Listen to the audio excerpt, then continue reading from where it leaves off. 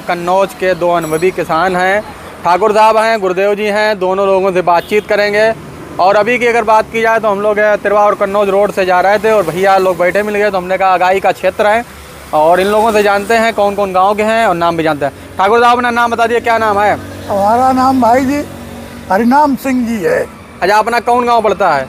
हमारा सिकंदरपुर पड़ता है। सिकंदरपुर। अच्छा अपने क्षेत्र में ठाकुर साहब क्या जो अगाई वाला आलू गढ़ता है वो गाड़ा जाता है क्या? अभी वो बारिश हो रही कहाँ गाड़ा जाएगा? अच्छा अगर माने जैसे कि पिछली साल में तो कब से गणना चालू हुआ था क्या उम्मीद थी? वो कम से कम बीस दिन पीछे आगे कर चुका था। बीस दिन आगे गढ़ चुका था। अभी क्या लग रहा है जैसे मान लीजिए कन्नौज में बारिश चल रही है और बारिश का माहौल भी लगातार बना है तो क्या उम्मीद करते हैं कि अभी कितने दिन बाद गढ़ पाएगा आलू? कम से कम पंद्रह दिन लगेंगे। अभी? अभी इसके बाद। इसके बाद? बारिश ना होने पर हाँ। पंद्रह दिन लगेंगे। अच्छा अभी बीस आज मान लीजिए उन्नीस तारीख है तेईस तारीख को और मौसम दिखा रहा है कि बारिश होने की संभावनाएँ हैं। तो क्या लगता है कि हमें लग रहा है कि अक्टूबर में ही गढ़ पाएगा कि इसी महीने में गढ़ जाएगा सितंबर में? सितंबर में तो किसी कीमत में नहीं कर पाएगा। अक्टूबर में गढ़ेगा।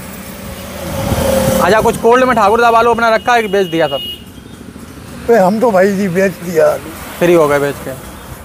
आपने नहीं उम्मीद लगाई कि आगे चल के थोड़ा और माहौल बनना? उम्मीद तो हमने कई बार लगाई। हाँ। हमको ज़रूर हर बार भैया घाटे ही लगा। हाँ। हाँ, तो इस साल इस साल तो पैसा मिला होगा नहीं मिला है? हैं? इस साल तो पैसा मिला होगा? बढ़िया मिला पैसा। क्या भाव में बेच दिया? ग्यारह सौ रुपये पैकेट बिका है ग्यारह सौ हालैंड। कौन सा आलू अपना हॉलैंड था? हालैंड था। अब भी माना जाए तो एक हज़ार पचास ग्यारह सौ अब भी बिक रहा है। आपको मतलब घाटे में नहीं बिका इस साल? सही बिका। सही भाव बिका है।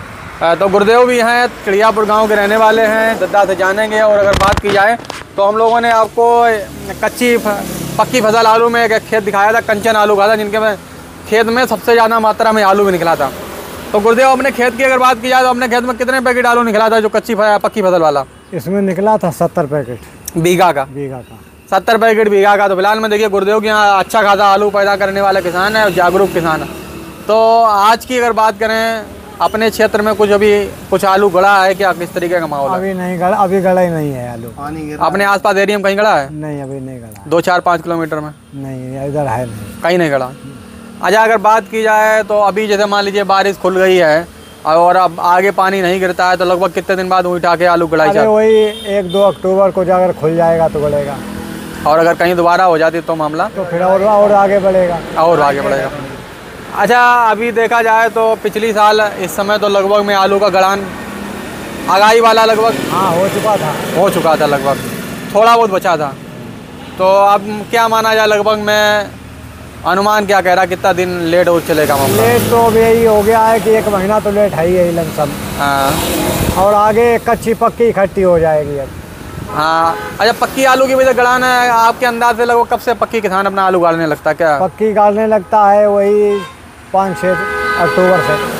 अच्छा जैसे पिछली बार दीपावली थोड़ा लेट थी तो क्या पक्की का लेट गड़ाना अब कच्ची पक्की साथ ही गड़ जाती है सब। अब साथ ही गड़ जाती है। बराबर गड़ जाती है। तो इस बार लग रहा है कि कच्ची पक्की एक ही साथ गड़ेगा? एक ही साथ गड़ेगा। अब इन साल तो गड़ी जाना है हाँ। क्योंकि समय नहीं रहा। समय नहीं रहा बिल्कुल क्लियर है।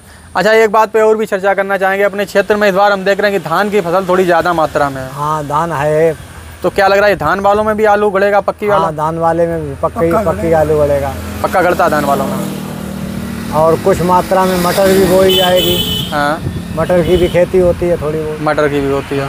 अच्छा ये जो कच्ची खोद के जो लोग मटर कर देते थे तो हमें लग रहा है वो लोग शायद कि डायरेक्ट मटर ही करें कच्ची ना आलू करें ऐसा भी हो सकता है? हाँ मटर करेंगे कच्ची आलू नहीं करेंगे। अच्छा कुछ लोग ये भी करते थे जैसे कि मान लीजिए जिनको आलू खोद के गेहूँ बोना था वो लोग शायद इस बार ना गाड़े आलू का गेहूँ बो ये भी स्थिति हो हाँ गेहूँ भी हो सकता है क्योंकि समय वही उतना ही नपा तुला है हाँ। अच्छा जो कोल्ड में आलू रखा है तो अब क्या लग रहा है कोल्ड वाले आलू को समय मिलेगा हमें लग रहा क्या? हाँ समय मिलेगा क्योंकि अब कच्ची तो गड़ नहीं पा रही है। हाँ।